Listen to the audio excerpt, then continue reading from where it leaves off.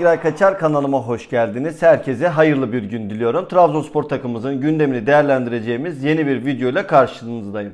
Tabi başkanımız ve hocamız tarafından önemli açıklamalar yapıldı. Ee, güzel mesajlar verdiler.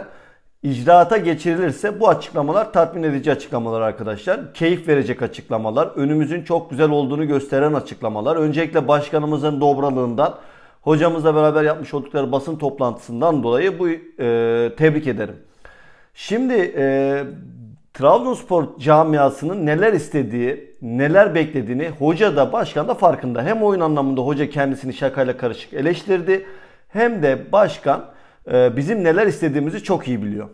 Tabii önemli detaylar var. Şimdi bunları sizlerle beraber özetleyeceğiz ve transfer gündemimize devam edeceğiz. Bitme aşamasında olan oyuncular var ki başkan da bunları söyledi zaten. Önemli detaylarımız var. 8 ve 10 numarada hareketlilik devam ediyor.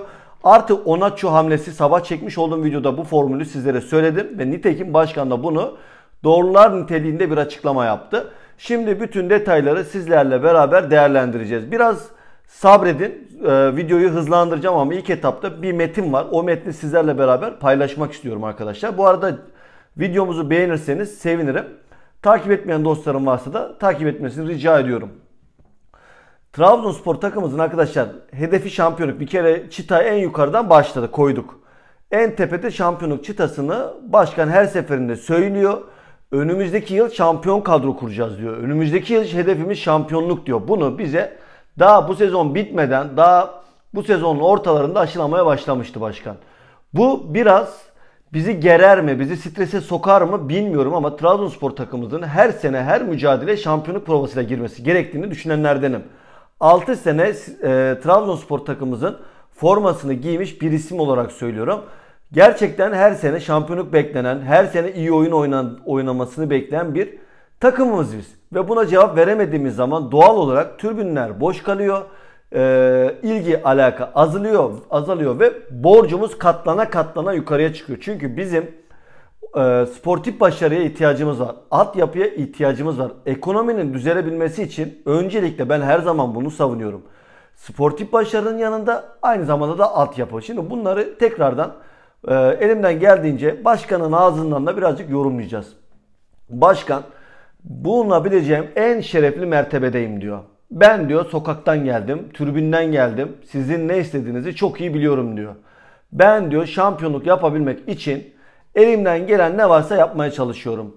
İşte biliyorsunuz işte birçok para ödüyor. Ben istesem o paraları ödemem.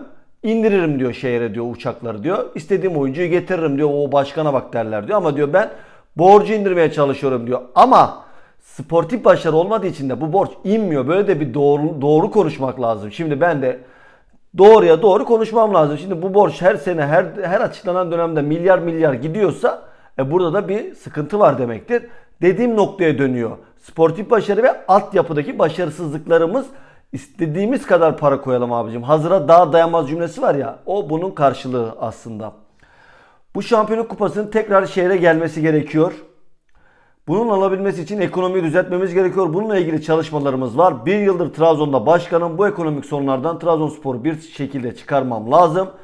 Önümüze daha rahat, daha güvenli bakabilmek için e, ekonomik durumu sürdürülebilir hale getirmemiz lazım. Trabzonspor camiasında maddi ihtiyacım yok, manevi ihtiyacım var diyor başkanımız. Bütün camianın desteğini önümüzdeki yıl tekrar zirve ulaşan bir takım oluşturmak istiyoruz. Desteğini alarak bunun olabilmesi için herkesin destek olması gerekiyor dedi başkan. Başkan ben diyor maddi değil manevi destek bekliyorum diyor. Burada biraz başkan ee, yani bence maddi de destek alması lazım. Bir kişiyle olabilecek bir iş değil. O kadar zengin iş adamı, o kadar eski başkanlıklar yapmış, yöneticiler yapmış. O kadar önemli isimler varken bu işi bir tane adamın üzerine yıkmakta ne kadar doğru. Başkan burada delikanlı, mert bir adam. E, mert bir şekilde bana diyor destek olun diyor. Köstek olmayın bari diyor. Dur, burada diyor ki aslında benim öngörüm, yorumum burada ne biliyor musunuz? Başkan diyor ki burada. Zaten maddi anlamda elinizi cebinize koymuyorsunuz. Bir de manevi anlamda sağda solda konuşup duruyorsunuz. Sağda solda benim işimi baltalamaya çalışıyorsunuz. Beni zora sokuyorsunuz. Bari bırakın parasal anlamda ben sizden maddi destek istemiyorum. Bırakın manevi anlamda yardımcı olun bana. Bari ya da sesinizi tutun abi kesin. Dediğini düşünüyorum ben başkanın. Olay bu çünkü bir yerde diyor ki başkan eee Pek kardeşimiz, pek çok kardeşimiz lafta kardeş olduğunu, pek çok ağabeyimizin de ağabeylik yapmadığını gördük diyor. Bizi kuvvetlendirdi diyor bu diyor ama diyor. Borcu kapatma inancımız tabii ki de var diyor. Projelerimiz falan filan böyle de bir konuşması var başkanım. Burada başkanın sistemi var. Çıkıp televizyonda, çıkıp internette, sosyal medyada, Twitter'da yok o transfer niye buydu, yok hoca niye böyleydi, yok başkan bunu yanlış getirdi. Den ziyade o zaman susun abi. Ekonomik anlamda katkı yapmayan sussun diyor Bizler için söylemiyor bunu. Taraftarlar, sizler bizler için demiyor. O kulübün içerisinde e, ağabeylerimiz diyor, kardeşlerimiz diyor. Kulüp içerisinde bulunmuş iş adamları, zenginliklere ulaşmış, bazı zenginliklere ulaşmış kişilere sesleniyor. Önemli. Şampiyonluk sürecine giden yol bellidir. Önce önemli konu ekonomi anlamında hazır olmamız lazım diyor. Yani ekonomi zaten şampiyonluk döneminde çok önemli. Devre arasında transfer yapmadı. Devre arasında bu kadar eksiğimiz vardı. Parayı cepte tutalım, borcumuzu indirelim dedi. E, devre arasını hoca ve başkan önümüzdeki sezon önümüzde 4-5 ay var. Sezon sonu sözleşmesi boşa çıkacak birçok oyuncu var diye bir strateji belirlediler ve burada e, transfer yapmadılar. Ekonomik halde hazır hale gelmek için yaptıklarını düşünüyorum. İnşallah hazır hale gelmiştir. Yoksa önümüzdeki sezonda çöp olur. Ve e, konuşulan her şey havada kalır. Dediğim gibi videonun başına icraata dönmek lazım. Şimdi 8'de 6'da 10 numarada pardon 8 ve 10 numarada önemli gelişmelerimiz var. Onaçu ve Mendy ile alakalı önemli detaylarım var. Geliyoruz yavaş yavaş. Trabzonspor'umuzun gelirinin 15 milyon euroyu bulmadığından bahsetti. 15 milyon euro gerçekten çok komik bir rakam. Sadece 15 milyon euroyu iki tane oyuncuya veriyorsun. Pepe ve Onaç. Kulüplerine, kendilerine, menajerlerine işte verdiğin para neredeyse iki tane oyuncuya gidiyor. Bu şekilde Trabzonspor takımımızın bu yarışın içerisinde sürdürülebilir hale gelmesi mümkün değil arkadaşlar. Mümkün değil. Maalesef bu da bizim için çok büyük sıkıntı. Yani bunu gerçekten yükseltmemiz lazım. Burada da en önemli detay Kartal projesi. Varımız yoğumuzu Kartal projesine odaklamış durumdayız. Kartal projesinde son aşamaya gelindi. Son aşamadayız. Kartal projesinde e, tabii ki de görüşmeler devam ediyor. Kiralanma konusunda sıkıntı yok ama e, pro, protokol lazım bürokrasi lazım. Biraz daha son aşamada imzalarda artık Kartal projesiyle beraber çok ciddi miktarda bir e, gelir sağlayacağız. Ve bu da bize çok rahat bir nefes getirecek. Başkan burada Kartal projesinde zaten en büyük kozu elindeki Kartal projesi. İnşallah bunu sonlandırabilir. Kaç kere Ankara'ya gittiler geldiler ben biliyorum. Transfer konusuyla ilgili müsabakalar hazırlanırken diğer yandan da ekiplerimizin yoğun şekilde çalıştığını söyledi Abdullah Avcı. FaceTime ve WhatsApp olarak görüşmeler devam ediyor. Trabzonspor anlatmak istiyoruz. Hedeflerimizi ve organizasyonları paylaşmak istiyoruz. Olumlu geri bildirimler alıyoruz. Tecrübeli genç ve yatırım için oyuncu da gelecek Trabzonspor takımıza daha hızlı ve agresif bir takım haline getirmek için elimizden geleni yapıyoruz dedi. 4 aylık transfer dönemi yürütüyoruz. 4 aydır transfer dönemi yürütüyoruz. Hocamız izleme ekibi, biz de ekonomik tarafı yönlendiriyoruz. Gelecek sezon taraftarlara tekrar şampiyonluk sevinci yaşatabilmek için hazırlıklarımızı yapıyoruz dedi Ertuğrul Doğan. Tek bir amacım var taraftarlarımıza şampiyonluk sevincini yaşatmak. Boğaz'a o bayrağı, bayrağı tekrardan asmak halini e, asmak istiyorum. Bunu gelenek haline getirmemiz lazım dedi.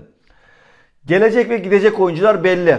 Bunu da masaya yatırmışlar. Zaten bunu biz konuşuyoruz sürekli. Gelecekler, gidecekler. Her şey belli arkadaşlar. Noktasına kadar belli. Kafalarda tereddüt yok. Sadece çok iyi bonservis bedeli getirebilecek bazı oyuncularımız kafa karıştırıyor. Mendy gibi. Artı Onaçu'nun nasıl buraya getirilebilir? Bu formül nasıl olabilir? Bu birazcık kafa karıştırıyor. Önemli detaylar bunlar. Ee, gelecek gidecek oyuncular için planlama yapıldı. Ee, anlaştığımız oyuncular var. Prensip anlaşmasına vardığımız oyuncular var dedi gene başkanımız. Önemli. Zaten biz bunları konuşuyoruz. 3 tane prensip anlaşması var. Dördüncü yolda ve 3 tane de isme resmi teklif gitti biliyorsunuz. Her şeyden önemlisi şu çok önemli. Ben bu borcu kapatmaya talibim dedi başkan arkadaşlar. Trabzonspor takımımızın borcunu kapatmaya talibim dedi. Kapatabilir mi? Evet kapatabilir. Ama kapatırsa daha mı iyi olur, kötü mü olur? Bilmiyorum. Trabzonspor takımımızın borcu kapandığı takdirde çok fazla başkan adayı da çıkabilir. Yani ben burada birazcık e, Ertuğrul Doğan'ın bu hamlesini çok hızlı yapmaması gerektiğini şahsen düşünüyorum arkadaşlar. Bilmiyorum siz ne dersiniz, yorumunuz ne olur bilmiyorum orasını. Çünkü genelde böyle burada Ertuğrul Doğan'ın hakkını vermemiz lazım. Bu kadar borcun içerisinde, bu kadar ekonomik sıkıntının içerisinde elini şöyle aldı taşın altına direkt soktu. Burada ben Ertuğrul Doğan'ın hakkını vermek istiyorum. Her baba yiğitin harcı değil yani bu kadar borcun içerisinde dalmak kafa göz dalıyorsun içeriye abicim bir bakıyorsun inanılmaz bir borç. İlk geldiği zaman o işte ilk kongreden sonra karşısına çıkan tabloda inanılmaz bir para ödediğini ben şahidim. Ben biliyorum. Burada da Ertuğrul Doğan'ın hakkını vermemiz lazım arkadaşlar. İşte Abdullah Avcı'nın diyor ki şehrimizin bazen çok kabul etmediği pas oyununu oynatmaya devam edeceğiz. Çünkü büyük takımlar bunu oynamak zordadır. Bu konuda Pep Guardiola Manchester City'nin uzun zamandır seyrediyorum. İşte Leverkusen'e bakıyorum. Burada oyun anlamında büyük takımlar pas organizasyonlarını yapıyor diyor. Ama şimdi Manchester City biz de izliyoruz. Manchester City'nin oynamış olduğu oyuna baktığımız zaman tamam pas oyunu yapıyor ama biz pas oyununa şimdi Manchester City'nin pas oyunu yaptığı oyunculara bakalım. Bir de bizim yaptığımız oyunculara bakmamız lazım. Bizim oyuncularımız bunu ne kadar becerebiliyor? Biz 2 yan, 3 yan, 4 geri ileri uzun top atıyoruz. Yani şimdi böyle bir pas oyunu diye bir şey de yok. Bana göre Trabzonspor takımımız pas oyununu yan geri yan geri Manchester, Manchester City'ye atıyorum. Onun örnek verdiği için söylüyorum. Evet bir pas trafiği yapıyor. Ama hemen akabinde 10, 15, 20 pas mı yaptı? 22, 23. pas artık dikine yapıp pozisyona giriyor. Adamların o pas oyunu farklı yerlere dönüyor. Bizim o pas oyunu 10 kere pas yapayım diye çıkayım derken bunun bir tanesine başarılı olabiliyorsun. Valla benim düşüncem biraz bu kadronun bu pas oyununda çok başarılı olduğunu düşünmüyorum. İnşallah önümüzdeki sezonlarda o kadroyu Abdullah Avcı hayal ettiği kadroyu kurar ve biz o oyunu görebiliriz. Şimdi tabii son 2-3 gündür Mendy çok ciddi anlamda transferi konuşuluyor. Batista Mendy Crystal Palace'ın teklif ettiği oyuncuyu alacağı, sözleşmesinin 12 milyon euro serbest kalır maddesi oldu. Daha sonra bunun 10 milyon euro üzerinde satıldığında %10'luk bir pay sahibi olacağını e, düzeltme yaptılar. Ama Mendy ile alakalı teknik direktörümüz de hoca da biraz başkan da biraz net. Batista Mendy için resmi bir teklif yok. Onu satmak gibi bir niyetimiz de yok dedi. Başka oyunculara gelen teklifler var fakat bunlar yıllar yıl sonunda hocamıza beraber oturup değerlendireceğimiz durum dedi. Mendy'ye gelecek olan teklifler de tabi görmek lazım dediler de aynı şekilde. Şu anki görüntüde Mendy'nin önümüzdeki sezonda bu kadronun içerisinde olması gerektiğini düşünüyorlar. Bunu daha önce de sizlerle beraber paylaştık. Ama her oyuncunun satılabileceği bir rakam var. Yalnız şampiyonlukta Mendy'yi nasıl kullanacaksın bu da önemli. Abdullah Avcı da Mendy'yi orta sahada oynatmak istiyorum tabi inatlaşmak gibi bir durum söz konusu değil diye de gülerek bir cevap verdi. Hani orta sahada oynatıyor.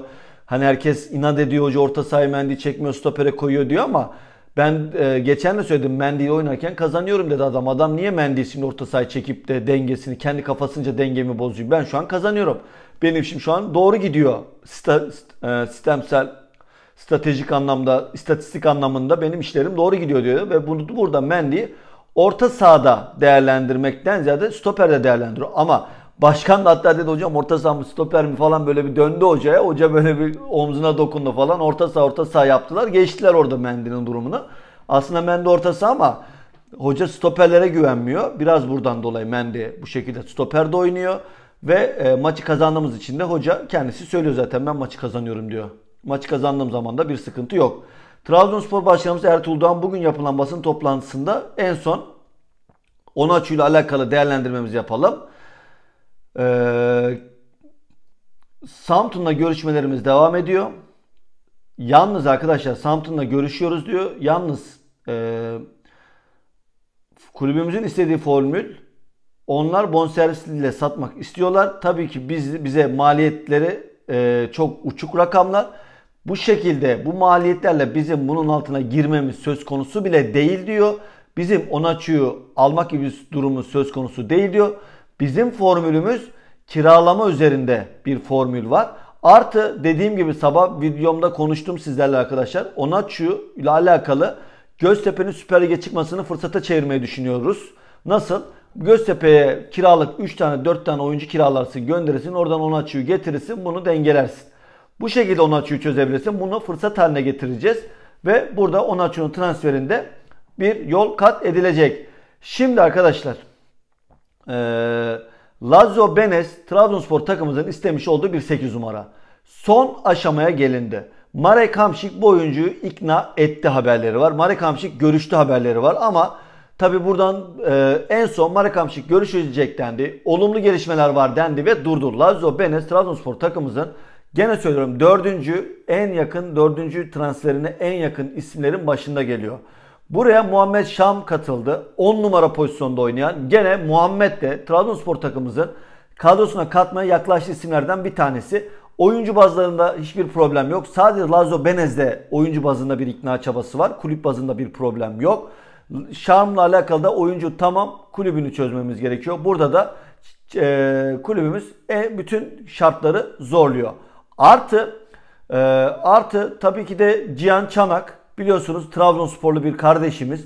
Ailesi devreye girdi ve Cihan Çanak'ta da güzel haberin gelmesi muhtemel. Onun için de gene Trabzonspor takımımız kulübüyle görüşmesini gerçekleştirdi ve oradan gelecek haberleri hepimiz bekliyoruz arkadaşlar. Gurbetçi isimler, gelecek vadeli isimler, genç yetenekler kadromuza katacağız dedi Abdullah Avcı ve burada biz bunu görüyoruz. Gerçekten hızlı bir hareketlilik var. Kelechi Inacho, Onacho'nun alternatifi arkadaşlar. Santofor'da Beşiktaş'ın ve Galatasaray'ın da Fenerbahçe'nin de adını yazanlar var. Devreye girdiği söyleniliyor ama e, Inacho'da gene hamle olarak bekletilen bir diğer isim. Kale Tekart stoperde bir diğer isim arkadaşlar. Trabzonspor takımımızın görüşmek için, e, bitirmek için çalıştığı bazı isimler diyorum. Şimdilik bu kadar. İnşallah videomuzu beğenmişsinizdir. Kendinize çok iyi bakın. Allah'a emanet olun.